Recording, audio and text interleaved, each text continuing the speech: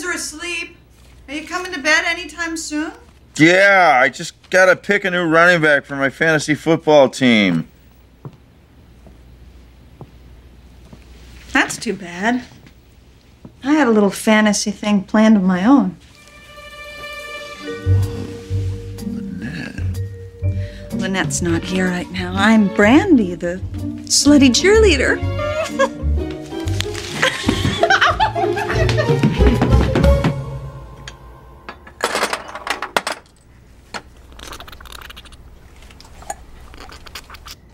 This is all very romantic, Gabby, but I still have four building proposals to read before tomorrow.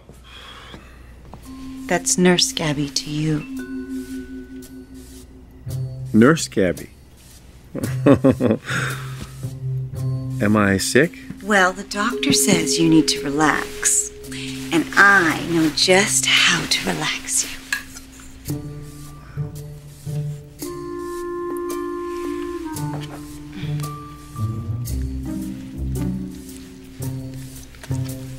Smells like licorice.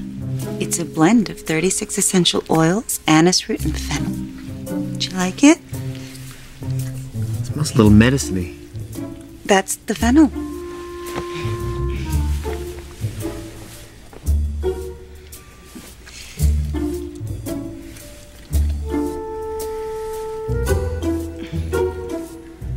It's stinging a little.